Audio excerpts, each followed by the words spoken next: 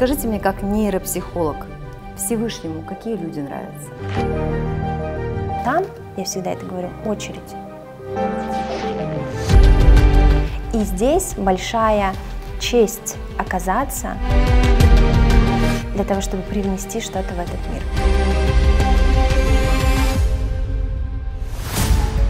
Родился ребенок и начинаются какие-то непонимания.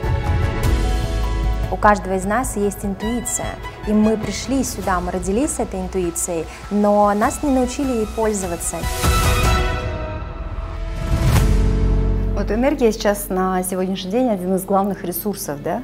То есть человек может много мечтать, много хотеть, но если у него нет физически этой энергии, он просто ничего не может сделать. Наша же энергия начинает нас разрушать потому что все, что с нами происходит, это отражение нас, нашего состояния, нашего уровня энергии. Когда человек начинает работать с собой, действительно меняется все вокруг. Я всегда говорю, отключите телефон, отключите все средства массовой информации, идите в лес.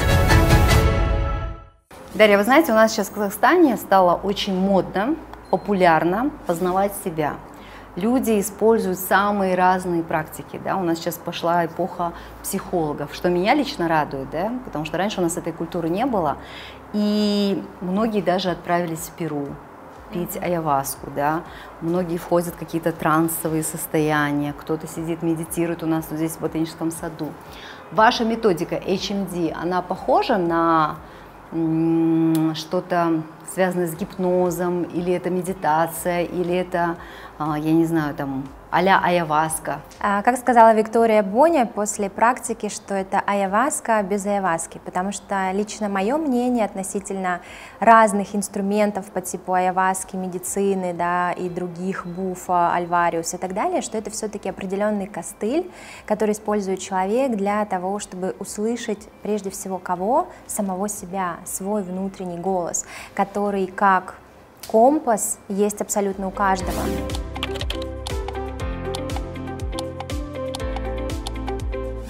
У каждого из нас есть интуиция, и мы пришли сюда, мы родились с этой интуицией, но нас не научили ей пользоваться ни в школе, ни, ни в университете, ни родители нас этому не обучали, а по факту это как руки, ноги, голова, то есть это то, что нам дано по факту нашего рождения. А как услышать себя? Это самый, я скажу, с одной стороны, непростой вопрос, а с другой стороны, самый обыденный, тривиальный, который которому да, мы годами, веками люди идут. А самое главное здесь вот за, как это сказать, за одну, наверное, секунду услышать себя будет невозможно, когда человек живет, например, на уровне головы, когда он логикой принимает какие-то решения, потому что это определенный путь, который позволяет нам прийти к себе истинным, настоящим и наладить вот эту связь между собой да, и своей какой-то высшей частью. И здесь, наверное, важно сказать, что мешает а мешает нам наши деструктивные программы, в том числе родовые программы, которые заложены у нас на уровне ДНК, на клеточном уровне, и мы их принесли с собой. И часто мы не понимаем, почему происходит та или иная ситуация с нами, относительно, например, отношений или же нашего здоровья, да, почему вдруг мы начинаем болеть. И важно понимать, что это программа, которая в определенный момент времени она начинает включаться. И единственное, почему она включается, потому что она показывает нам, что через нее, освободившись от нее, мы можем прийти к себе, потому что мы пришли сюда эволюционировать. То есть все программы повторяются? не то чтобы повторяются, но они включаются в определенный момент. То есть они не самого... То есть если такая программа похожая была у твоей мамы, то она, скорее всего, повторится у тебя? Да, то есть мы можем это идентифицировать и увидеть, что, например, были сильные женщины в роду, да, и теперь, например, женщина, она все время работает, да, то есть ей все время, она рассчитывает только на себя, да, на свое какое-то внутреннее положение, и никто ей не помогает, там, мужчина, например, и так далее. Или более того, да, например, в России у нас, я не знаю, как в Казахстане, но женщина, например, тянет всю семью, да, то есть, а мужчина, например, более слабый. Такие моменты тоже есть. А все почему? Потому что есть действительно деструктивная программа, которая просто-напросто как матрица сковывает и не дает выйти на какой-то другой иной путь. Но начать же всегда можно с себя. Вот я, например, взяла ответственность за свой род. А, у меня был прямой эфир с Валерием Синельниковым, и у нас его в Казахстане любят, знают, да, я сама его очень сильно уважаю. Я спросила, как изменить родовую программу, чтобы у моей программе никогда не было проблем с алкоголем, да, чтобы вот никто не, был, не было зависимости. Он сказал, вы готовы взять на себя ответственность? Я сказала, готова. Он говорит, тогда с сегодняшнего дня не пейте алкоголь, и тема закрыта. И вы знаете, это было в 2020 году, и вот на себе, получается, я остановила. То есть, если ты хочешь что-то изменить в своей жизни или в жизни там, своей семьи, ты можешь просто начать самой себя.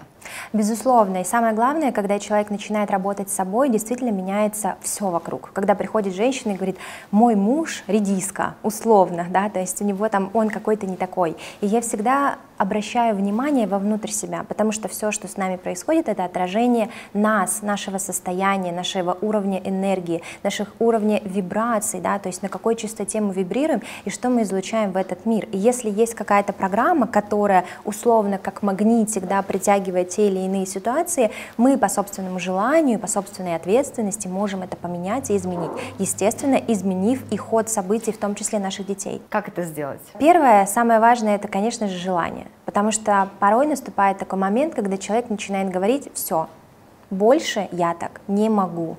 Или когда приходят и говорят, на меньшее я не согласна, да, то есть больше так продолжаться не может. И когда человек... То есть с этого начинается изменение? С этого начинается изменение, когда человек осознает, что по-старому он уже не, не хочет. И он может еще не знать, как по-новому, потому что это всегда определенный переход, да, то есть мы все находимся на разных уровнях, да, то есть мы эволюционируем и переходим с одного уровня на другой.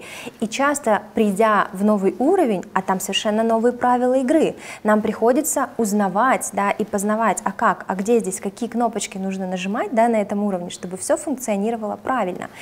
И вот следующий момент, да, то есть это, соответственно, понять и идти в узна узнавать, да, то есть где, через кого-то, через что-то, потому что тогда, когда... То есть начинаются поиски. Поиски, да, поиски и извне, да, то есть понятно, что изначально изнутри мы не можем этого найти, и мы пытаемся найти через книги, через какую-то литературу, в интернете очень много информации, но здесь, конечно, важно быть аккуратным, почему? Потому что это определенный фильтр, да, то есть когда мы эту информацию, что-то мы можем в себя впустить, что-то не можем. И после, когда у нас уже появляется какая-то внешняя опора, да, то есть она позволяет нам почувствовать эту безопасность, потому что для человека это тоже базовая такая функция да, безопасности, когда человек может уже довериться и пойти вовнутрь себя и увидеть там этот большой, прекрасный мир, целую вселенную, которая Потенциал находится свой, внутри да? нас. Помимо потенциала, да, всю ту энергию, которая нас окружает, потому что мы все едины, да, и когда мы говорим о том, что у кого-то больше потенциала, у кого-то меньше, это неправда. Мы все едины, и у нас, у каждого есть доступ к безграничному количеству энергии. Важно только научиться это видеть, замечать, ну и, конечно же, использовать в своей жизни. Мне понравилось, как вы сказали, что Изменения начинаются тогда, когда человек говорит, все, я так больше не могу, я не хочу, чтобы октябрь 24 года был похож на октябрь нынешнего года, да, то есть если ты хочешь, чтобы у тебя в жизни что-то поменялось, да, ты кардинально должен начать меняться сам. Я практик, я не теоретик, да, то есть я ежедневно работаю с людьми, люди приходят ко мне на консультации, на наставничество, я веду курсы, обучаю людей, и я вижу, как на самом деле меняется все, что происходит, и все эти события, которые происходят с нами в мире, они на самом деле заставляют нас задуматься о чем-то большем, и первые такие, наверное, звоночки и предпосылки были как раз-таки тогда, когда был карантин, когда мы все сидели по домам, и вот эти глобальные, я их называю изменения, изменения, они тогда начали происходить, когда по факту мы остались один на один с кем? С самим собой. Когда мы по факту научились и учились быть честными перед самим собой и раскрывались перед самим собой. И вот в этот момент, э, конечно же, мы понимаем, что все меняется, и так как меняется все, а мы есть единый организм, это неизбежность. Для того, чтобы не просто выживать, с одной стороны, люди начинают выживать, да, то есть, ну, чтобы выйти из этого выживания и жить свою жизнь, они вынуждены меняться. Ваша методика HMD, как она расшифровывается? Человек многомерный. Она помогает человеку познать себя, да, то есть человек ныряет пути, ну, то есть он начинает путешествовать в своем бессознательном? А, здесь, наверное, несколько пунктов. Первое, что происходит у человека при освобождении от деструктивных программ, у него открываются интуитивные навыки и каналы. То есть он начинает, я это называю видеть, слышать, чувствовать и знать. Да? То есть, когда человек приходит и говорит, я не знаю, откуда я знаю, но я знаю, что нужно вот так. То есть у человека отпадает Может, сомнение. Это, это не опыт, это именно тот внутренний голос, это интуиция, которая как компас ведет человека по жизни. То есть это связь с нашим высшим, с нашим духом. Это первый момент. Второй момент, человек становится на свой собственный путь, и он начинает понимать, за какими задачами, а точнее, с какими задачами он сюда пришел в это физическое воплощение. Потому что зачастую огромное количество сопротивлений, каких-то ситуаций, которые происходят с нами, вне зависимости от того, в какой области, это может касаться отношений, это может касаться здоровья. А, например, если мы возьмем какую-то женщину, зачастую почему? Потому что она не использует все то, что ей дано всю ту энергию, и она не выполняет свое собственное предназначение, да, то есть свои собственные задачи. И так как она не идет по своему пути, да, то есть ей будет об этом сигналить ее муж, например, да, какой-то нерадивый, назовем это так, или у нее что-то будет происходить со здоровьем, потому что в том числе ко мне люди обращаются и с тяжелыми заболеваниями, да, там онкология, например, или э, после тяжелых там черепно-мозговые травмы, да, то есть это тоже все ситуации, они происходят не просто так, это как звоночки, которые говорят, посмотри, обрати внимание, да, для того, чтобы ты стал больше, шире, лучше в этом мире. Люди готовы идти на крайние меры в поисках самого себя. Вы сказали, что начинаются поиски, да, то есть люди ищут своего психолога, да, там на различные практики записываются, кто-то идет там чакрологом, астрологом, нумерологом, да. С другой стороны, я понимаю, что вот я, например, не против, потому что если это помогает тебе познать себя, то есть ты получил информацию, ты ее используешь, да, но войти вот в такое состояние, где ты можешь понять э, вот свое бессознательное, на самом деле это очень сложно. Даже вот я, честно говоря, не знаю, как люди медитируют самостоятельно, да, то есть без проводника, это же сложно. То есть вы, вот расскажите про инструменты, которые вы используете. То есть вы там, я не знаю, проводите медитации, какие-то практики, как вы высвобождаете людей от вот этих деструктивных каких-то там, а, я не знаю, стереотипов, да? А, это несложно. А, когда мы учимся ездить на автомобиле, сначала нам кажется, что это непонятно. Но потом, да, то есть это все происходит в автоматическом режиме. То же самое и здесь. Для того, чтобы услышать себя, нам нужен навык. Для того, чтобы начать медитировать, нам просто-напросто нужен навык. Что конкретно использую я?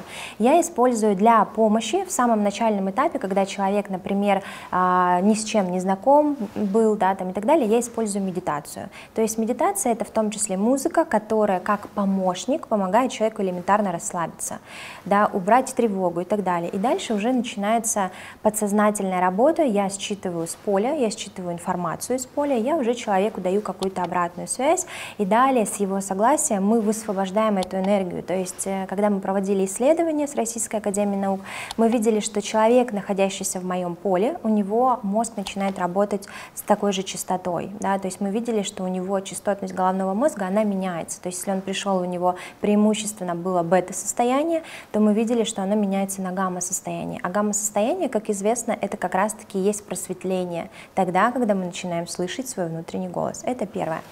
А, второе, что непосредственно происходит, происходит изменение центральной нервной системы. То есть нервная система расслабляется. И когда мы говорим, да, человек э, в расслабленном состоянии, он тоже уже по-другому начинает принимать решения, он по-другому начинает видеть этот мир, да, то есть у него друг, другие взгляды появляются и так далее. У него меняются показатели кардиосистемы, мы тоже это фиксировали, плюс меняется биополе, да, потому что часто приходит человек, и если у него какие-то были сложные ситуации в жизни, это может быть рваное биополе поле.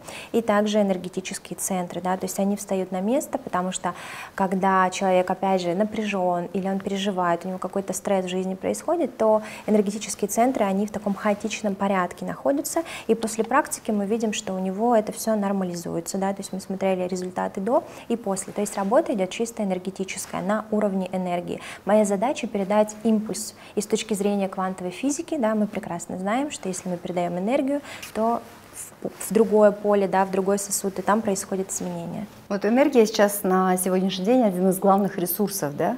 То есть человек может много мечтать, много хотеть, но если у него нет физически этой энергии, он просто ничего не может сделать. На самом деле самая главная да, такая штука – это активация энергии. И как активировать? Как Дарья? активировать? Давайте нам а, инструменты. Где С нас... утра проснулся, что делать? а, обратить свое внимание на свой первый и второй энергетический центр, да, то есть что это такое? Это те энергетические центры, которые находятся у нас внизу, это по, по факту наша сексуальная энергия, это наша финансовая энергия, да, то есть это знак равно, это наша жизненная энергия.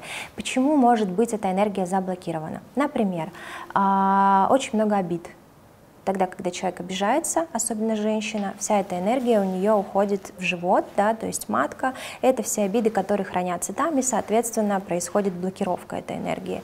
Далее, что может быть еще в том числе, да, помимо обид, это чувство вины, чувство стыда, тогда, когда, например, по роду женщина чувствует себя виноватой. А, также она может себя виноватой чувствовать там, в плане отношений сексуальных с мужчиной и так далее. То есть здесь важно смотреть, а что привело к блокировке, что является. То есть здесь нет, как это сказать, инструкции, да, которая бы, например, как рецепт, да, выписал врач, там, выпей таблеточку, и тебе станет легче, у тебя появится энергия. Если бы было бы так, да, как говорится, мы бы все уже, а, наверное, общались бы без слов, слов, да, и летали на ракетах, если бы это все происходило, но происходит это все иначе. И важно понимать, что если нет у человека энергии, это ненормально. И это не значит, что у человека там недостаток витаминов или гормонов или еще чего-то такого. Это может быть с точки зрения физики, но за этим стоит всегда глубинная причина, первопричина. И я работаю, чем отличается метод от других существующих методов и практик, тем, что я работаю именно с глубинной первопричиной, которая находится в момент формирования нас как частицы. И когда мы обращаемся туда, да, потому что в том числе я использовала на себе такие практики, как э, прошлые жизни, да, там тета-хилинг, акаши метод, и я в какой-то момент стала понимать, что да, это дает какой-то временный результат, но чтобы это меня переносило в какую-то новую то есть самое реальность. главное вначале разгрузить человека, Конечно, да? то есть если представить его, да, то есть вот человек, он натыкан какими-то, да, такими моментами, блоками, которые ему мешают. И как только мы от этих блоков освобождаемся, у нас появляется энергия, потому что это естественный процесс в жизни человека, когда энергия функционирует Я вот, кстати, правильно. была на одном таком тренинге, где высвобождали родовые травмы, я видела, как мужчины рыдали. А, это было тяжело смотреть, потому что у нас э, в нашей ментальности казахский мужчина вообще не должен проявлять никаких эмоций, а, он не может позволить себе вот так вот сплакнуть, да, то есть у нас это как-то не принято. У нас мужчина с самого детства должен быть таким крепким, стрессоустойчивым, да. Он же живой. Он живой человек, да, и он, получается, все в себе носит, это обязательство, да, то есть ты должен там содержать семью, содержать родителей, да, это, наверное, какие-то обещания, которые, может быть, он не успел выполнить, да, особенно если там ушли родители, и он это в себе держит. Это обиды, да, это какая-то агрессия. То есть это столько всего в человеке. И вот когда я была на таком тренинге и видела, как мужчины рыдают, я поняла, как им тяжело. Женщинам, мне кажется, в этом смысле легче. Легче, потому что женщины позволяют себе больше быть эмоциональными, а соответственно, когда эмоция блокируется, это уже в том числе может и привести к заболеванию. Да? То есть часто, например, причины заболевания тех же онко каких-то а, проблем, да? то есть это не высвобождена эта энергия. То есть мало того, что а, это нереализованный наш потенциал, потому что наша, наша же энергия начинает нас разрушать. Если мы не идем по своему пути, если мы не проявляемся, и мы не при привносим то, что мы сюда должны привнести. Мы сюда были отправлены, да, в это физическое тело, в это физическое воплощение зачем-то. Да, то есть у нас была какая-то задачка. Если мы эту задачу не выполняем, соответственно, мы блокируем это свободное, опять же, течение энергии. И, а, э, то есть с какой бы стороны мы ни посмотрели, да, а, то мы видим одну единственную причину, в том числе, например, а, когда рождаются детки да, с тяжелыми заболеваниями, и мамочки впадают э, там, в состояние жертвы и так далее. И никто не говорит, что им легко. На самом деле это достаточно сложная ситуация, но эта сложная ситуация, она дана лишь потому, что, во-первых, мама может с этим этим справиться. И э, у меня у самой сестра была с ДЦП, и я знаю, что это такое. И я понимаю, для чего это было дано моей маме. Для чего?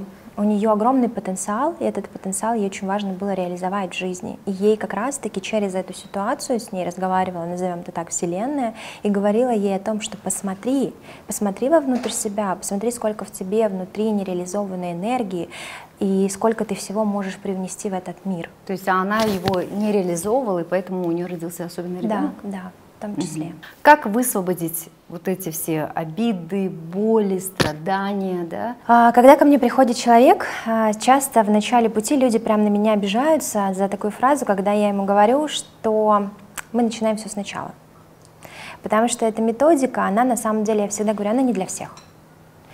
А, в какой-то определенный момент я поняла, что человеку нужно пройти определенные пути эволюции.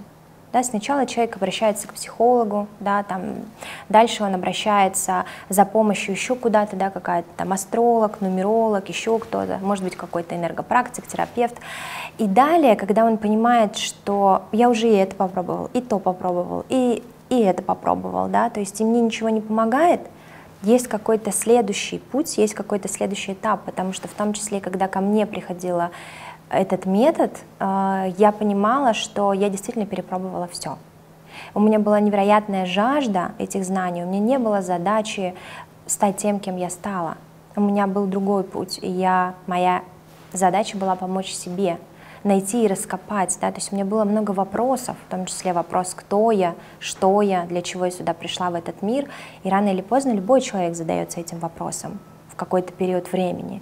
И вот тогда, когда человек начинает задаваться этим вопросом, это уже определенная стадия, это определенный уровень развития, я называю души и сознания человека. И когда человек находится на этом этапе, вот тогда, да, то есть это уже какой-то пройденный этап, он может прийти и обратиться да, за помощью, и именно на этом уровне уже происходят изменения. Поэтому я и говорю, что не для всех.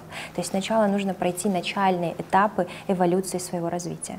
Дарья, когда ко мне в гости приходят в студию психологи, нейропсихологи, я понимаю, что ваши услуги не стоят дешево, и это нормально, но я все-таки прошу дать бесплатно какие-то рекомендации. Ну, есть какие-то практики, которые ну, люди могут уже сейчас использовать, да, и для того, чтобы вы говорите, прийти вот к этому уровню, да, когда ты чувствуешь свою интуицию, когда ты слышишь себя, нужно сначала это все высвободить. Вот это высвобождение, с чего начинается? В домашних условиях. В домашних условиях без э, помощников. Я всегда говорю, отключите телефон, отключите все средства массовой информации, идите в лес.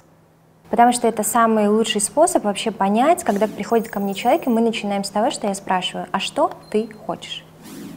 И вот по пониманию того, что он действительно хочет, можно уже определить, готов ли он да, на тот свой уровень перейти, который сейчас там перед ним открыт стоит, а, либо он вообще готов взлететь да, потому что я-то вижу, я понимаю, что человек способен на больше, я вижу порой его какую-то конечную точку, да, к чему он может прийти. Ситуация, у меня девушка была из Америки в наставничестве, и мы с ней разбирали, а вообще она ко мне пришла разобрать свои отношения и, естественно, предназначение. Она работала, она была инвестором, да, инвестировала какие-то моменты. И в одной из сессий я ей говорю, ты знаешь, э, ну вот я, я чувствую, что скоро будет Голливуд. И она мне говорит, какой Голливуд? О чем ты вообще говоришь? Ну, ерунда какая-то. Проходит три дня, я вот не дам соврать, могу потом дать послушать голосовое сообщение. Она мне записывает сообщение и говорит о том, что ее пригласили в Голливуд э, для съемок и сейчас она уже на сегодняшний день, да, там блогер-миллионник, ее приглашают в разные журналы моделью, она отснялась в нескольких клипах и так далее. То есть к чему это все? Очень важно понимать, чего действительно хочет человек. И если он видит вот эту конечную точку, для чего он сюда пришел в этот мир.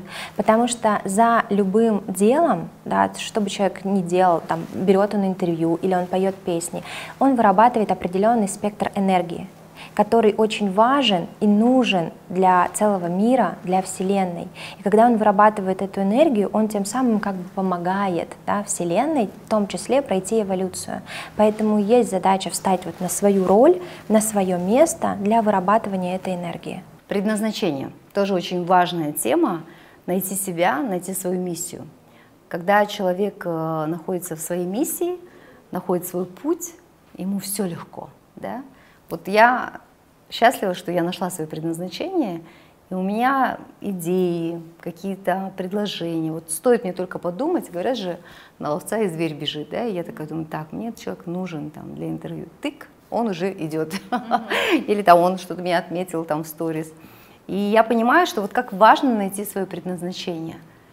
И как это понять, по каким знакам? Когда я начинаю работать с человеком, я всегда ему говорю, обрати внимание, на во что ты играл в детстве. Очень часто мы играем в те игры, которые мы потом вообще используем. Ну, например, да, то есть я всегда, когда уходили родители, я садила виртуальных учеников перед собой и начинала проводить собрания родительские и так далее, да, то есть мне, у меня было это желание, какой, какой-то естественный путь. И когда мы вспоминаем себя в детстве, во что мы играли, да, то есть мы же бессознательные, до, до пяти лет активно работает наша бессознательная часть, и мы играем вот в эту игру. Это первый момент. Второй момент э, — это вопрос, который важно задать себе, а что я, вот если у меня закрыты все мои базовые потребности, у меня есть все деньги этого мира. Что я буду делать? Да? Что меня будет вдохновлять? И найти ту историю, которая будет создавать драйв. Потому что драйв это и есть вот эта энергия жизни, которая по факту нас как волна несет просто-напросто дальше. Да? То есть когда мы встали, э, те, кто пробовал да, кататься на доске по волне, то есть они прекрасно знают, что ты встаешь, и твоя задача довериться этой волне, да, то есть и уже немножко только а, помогать своим телом, да, для того, чтобы управлять этой волной. То же самое и здесь, то есть в жизни очень важно довериться своим собственным ощущениям, а что бы я хотела делать, что мне приносит радость или хотел бы. Но люди не рискуют, боятся. Безусловно, боятся, потому что огромное количество страхов, ограничений и всего остального. Ну, у тебя есть условно работа безопасная, да, ты знаешь, что ты стабильно получаешь на этой работе деньги определенные, да, но у тебя желание может быть совершенно другое, да, ну, условно, например, там, врач, который лечит людей, может быть, он хочет там заниматься психологией, да, например, или психолог, например, который уже устал слушать своих пациентов, да, может быть, он хочет быть художником. Но, не, но люди не рискуют. Не рискуют, но я говорю, что вот эта точка, да, где человек начинает понимать, Вселенная же, она очень умная, она же дает нам разные ситуации, разные болезни, пандемии и все остальное. Это же не просто так. То есть человек в эти моменты тяжелые, потери близких, разводы, потеря денег, да, все что угодно. В такие моменты человек начинает задумываться. А еще хуже, когда случается какая-то авария, например, да, и так далее. То есть это те моменты, которые подталкивают человека. И вообще, в принципе, если человек не готов вот так вот поменяться, да, потому что это не просто, психика не успевает, тело не успевает. Я знаю, что такое, даже если ты запустил энергетические да, какие-то процессы, то тело и психика может не успевать. В этот момент я всегда говорю, окей, если ты врач и ты хочешь быть психологом, начни потихонечку заниматься психологией, потому что когда я приходила в эту тему, а, я занималась бизнесом, но условно по ночам после э, своего рабочего дня в 12 часов я сидела в паркинге, я проводила сессии, да, то есть это просто была такая благотворительная история. Почему в паркинге? Потому что я уже приехала домой, я не поднималась домой, чтобы никого не разбудить, потому что если я приду и буду разговаривать, да, в другой комнате, э, муж, ребенок, они уже будут меня слышать, да, то есть я буду мешать, соответственно, время уже ночное, поэтому, сидя в паркинге, я проводила сессии в наушниках, ко мне шли люди по сарафанному радио, да, то есть я нигде об этом не рассказывала, люди сами ко мне приходили. То есть и это такая интеграция, она всегда достаточно мягкая, потому что когда мы только начинаем вставать на свой путь, и мы элементарно показываем Вселенной, что да, я готов, я пойду, там условно, окей, у меня не закрыты сейчас базовые потребности, и мне нужно ходить на работу, чтобы получать те же, да, там какие-то деньги для того, чтобы выживать, жить, питаться, да, кормить детей и так далее. Но я буду делать какие-то шаги навстречу кому? Да навстречу самому себе. Отношения. Дарья, давайте поговорим про отношения, потому что э, всем нужна половинка. Всем хочется найти своего человека, но не всем везет. Я недавно задумалась о том, что часто мы выбираем не тех людей не потому, что нам не повезло, а потому что мы выбираем из того, что имеем, да, то есть на каком рынке мы находимся, там в студенчестве мы убираем однокурсника, там, и либо мы убираем потом уже в более взрослой жизни коллегу, да, то есть, но по большому счету мы-то и не ищем свою половинку. А, я не совсем считаю, что мы прям половинки, да, потому что один может существовать без другого, а когда половинки, это все-таки какая-то зависимость. Нет, ну я думаю, что, вы знаете, когда половинки соединяются, и когда реально это люди, которые созданы друг для друга. Созданы друг для друга, да, да это тогда друг... они усиливают. Вот, это ключевое, усиливают. То есть это то, что я хотела как раз-таки сказать. Мы приходим друг к другу, и мы встречаемся друг с другом для усиления. Но часто мы почему примагничиваемся? Потому что у одного есть травмы, и другой, у другого есть а, травмы. А, то есть эти травмы и мы соединяют. начинаем об эти травмы тереться, да, то есть друг друга обучая стать лучше, сильнее, могущественнее, встать на свое предназначение, раскрыться, то есть проявиться. не а, сильные стороны, а травмы все-таки? Да, в том числе, безусловно. Mm. То есть, например, у, там, у женщины была какая-то родовая программа в роду по маме, и у мужчины была какая-то. И мы эти рода... А представьте еще, одна родовая программа на другую, и вот здесь вообще начинается драка условно, да, с кулаками, и когда посуда летит э, в пол. Поэтому в этот момент очень важно понимать, что не он плохой и не она плохая, а он или она пришли мне подсветить те моменты, на которые мне стоит обратить внимание и непосредственно уже изменить Проработать отношения. Проработать. И когда происходит проработка, ко мне очень часто на самом деле приходят женщины, и они говорят, я хочу разводиться, все, я больше не могу. Но после того, когда они проработали себя, у них вдруг начинается конфетно-букетный период с тем же самым мужчиной, да, с тем же самым человеком. А что меняется, что они изменили? А, меняется состояние женщины. То есть она вдруг выходит из роли мамы, например, для своего мужа.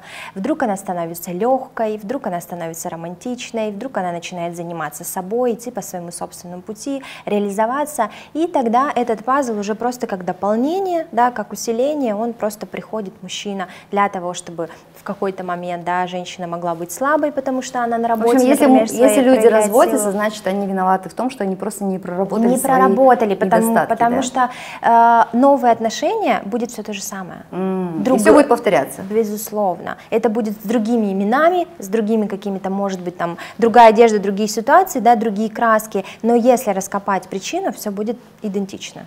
Я, честно говоря, первый раз слышу такое, что встречаются недоработки.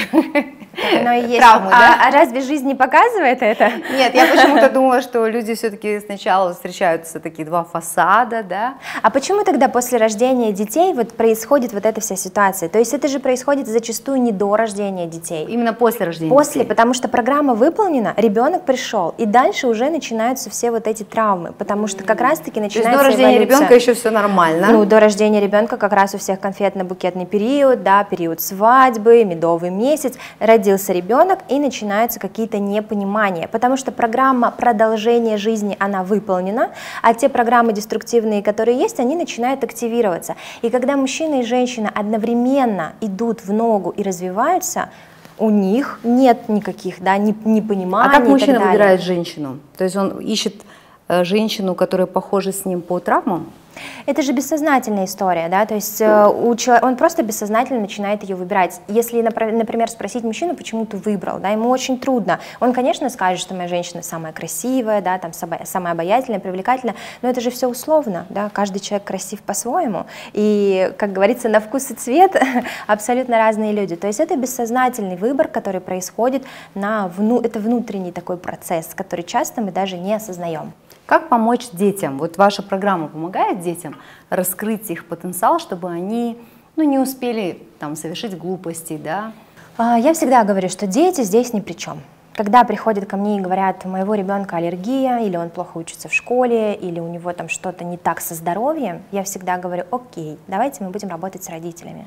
Потому что дети подсвечивают нам какие-то моменты, которые с нами происходят. Или там ребенок не может начать говорить, или видеть, или еще что-то. Да? То есть прежде всего это сигнал для мамы и для папы, что у них что-то есть, что важно проработать и идти дальше. Как только родитель проработала, У, ребенка все уходит, исчезает. все уходит у ребенка. Как это работает? Как это работает? Э, Это работает очень просто, потому что, опять же, мы взаимосвязаны. И Вселенная как-то с нами должна разговаривать. То есть через что-то, через какие-то ситуации. Она нам начинает То есть если у человека происходят условно бесконечные проблемы в жизни, значит он просто идет не своим путем? Не обязательно, он может идти своим путем, но у него есть какие-то непроработанные моменты. То есть он до конца, например, не раскрыл Так, ну тогда свои- здесь, Дарья, давайте нам, дайте нам бесплатный совет, да? Вот если у человека все плохо, все время, да, бесконечно, он понимает, что надо прорабатывать себя. С чего начать? Остановиться. Замедлиться. Остановиться. То есть замедлиться – это замедлить темп. То есть здесь остановиться это прям случае остановить? это прям вот остановиться. Как вы говорите, все выключить и в лес. Да, все выключить и в лес. Ну хорошо, погулял в лесу, а, освежился, отрезвился, пришел и... пришел и начал обращаться за помощью. Потому Кому? что человек... э, как вот здесь лучше мне сказать, к кому обращаться? Э, Кто-то уходит в религию, например. Кто-то уходит в религию, кто-то находит э, для себя какого-то проводника. Да, то есть кто-то находит для себя психолога, кто-то находит найти человека, мастера. который ответит на твои вопросы. Да, на начальном этапе ты не можешь сам себе ответить. И ты находишь человека, через которого, я это называю еще подумать об кого-то, ты начинаешь находить ответы на свои вопросы. Зачастую человек, когда записался ко мне в работу, он э, уже приходит и говорит, а я уже ответил да, себе на вопрос, почему? Потому что мы, опять же, мы же взаимодействуем друг с другом, мы несем какой-то энергетический заряд, и не стоит об этом забывать. И человек в нашем поле, если мы несем благостную энергию, он уже изменяется, он уже трансформируется, потому что мы в том числе проработали. И когда мы прорабатываем себя, мы же влияем и на других людей в том числе. Или, например, да, относительно даже отношений. А, женщина поменяла свое поле, и даже если мужчина не хочет развиваться, зачастую это происходит именно так, сначала развивается женщина, а потом уже спустя какое-то время да, начинает догонять мужчина через какие-то сложные ситуации. И если она полна выдержки и терпения, да, она не сворачивает с этого пути, то мужчина волей-неволей, хочет он или не хочет, я всегда говорю, он начнет изменяться. И спустя какое-то время он начнет интересоваться развитием, изменением и так далее. То есть это неизбежно? Да. Дарья, вы изучали, почему у кого-то получается, и кто-то оказывается в Голливуде, я не знаю, там, в большом шоу-бизнесе, да, или он, он получает большие деньги, да, это ведь такие же люди, у которых такие же ноги, руки, голова, да, он там мог тоже расти там в Советском Союзе, да, что их отличает от обычных людей? Им повезло, они проработали все свои там травмы, да, или там они ходили к психологам. Что изменилось? Что что такого есть у них, чего нет у обычных людей, у которых нет этого всего? Ну, во-первых, они пришли сюда с определенным багажом, то есть с определенным бэкграундом, они уже находятся немножко на другой стадии развития да, своей души, своего духа, своей внутренней части. Это первый момент. Второй момент, э, такие люди, они зачастую не обращают внимания на то, что происходит вовне. Да, то есть они настолько честны с собой и преданы прежде всего себе, своему внутреннему навигатору, да, то есть они следуют за этим. И такие люди, они их называют как раз-таки сильными духом, но если рассмотреть и сказать, что это действительно люди счастливы, не всегда это так. Да, то есть если посмотреть, у них в том числе есть вопросы, на которые, ну, я не люблю слово проблемы, да, поэтому я его заменяю на вопросы, которые, на которые стоит обратить внимание и на которые в том числе они обращают внимание. Просто это не проявлено, да, это может быть не видно, и зачастую публичная личность, да, то есть э, она одна в медийном пространстве, но она совершенно другая да, в жизни и в своих каких-то, э, в своем лайфе, да, и если посмотреть на это, то есть там тоже много есть вопросов, которые они хотят решить, решить и которые не позволяют им быть счастливыми. Например, у меня был э, один мужчина в работе, он, зах он зашел, и, можно сказать, вот дверь он открывал с ноги, и он сказал, что я олигарх. Да, то есть он не произнес свое имя прежде всего, да, то есть он прежде всего заявил, я олигарх, он сказал, что у меня есть все, я могу позволить себе в этой жизни все. А, я, и он пришел с онкозаболеванием, он говорит, я при этом я несчастлив да, то есть несмотря на то, что он добился таких высот, да, то есть он оказался далеко не счастливым человеком. То есть это говорит на самом деле о многом, и это в том числе говорит о том, что деструктивные программы, в нашей бессознательной части. Они есть абсолютно у каждого человека. Просто это все индивидуально. И у кого-то сигналит отношения, у кого-то сигналит финансы, у кого-то предназначение, у кого-то здоровье. Да? То есть, а мы непосредственно судим и смотрим на какую-то одну картинку, не понимая, что стоит там да, за спиной, чего мы не видим. Тогда вопрос, э, что такое счастье? Когда человек чувствует себя счастливым? Счастье – это, опять же, определенный уровень энергии, и, как показывает, опять же, практика, счастье, оно очень сильно взаимосвязано с удовлетворением.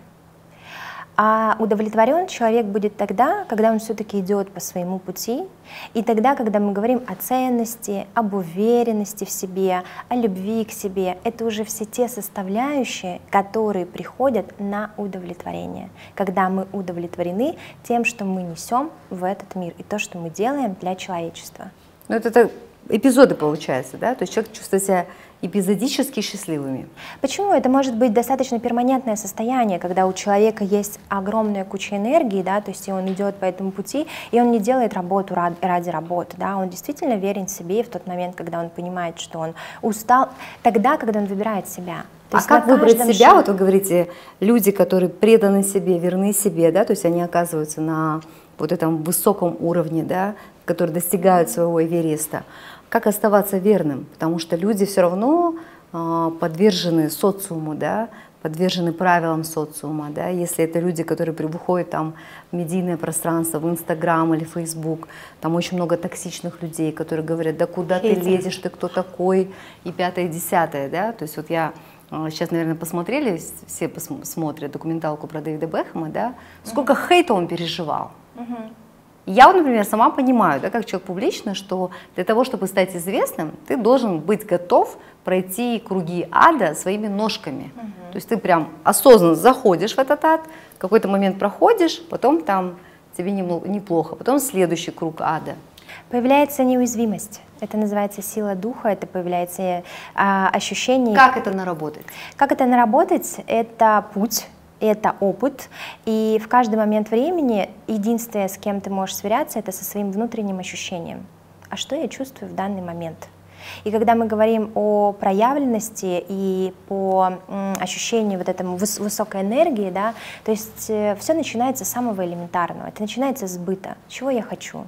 Куда я хочу. Даже если я обожаю свою работу, в какие-то моменты я хочу отключиться и уехать куда-то, и переключиться. И если я вовремя словила этот момент, я счастлива и здесь, и там. И так происходит с каждым человеком. То есть это внутреннее ощущение, к которому мы должны прислушиваться. То есть это мы как с маленьким ребенком разговариваем. А что ты хочешь? А что с тобой происходит?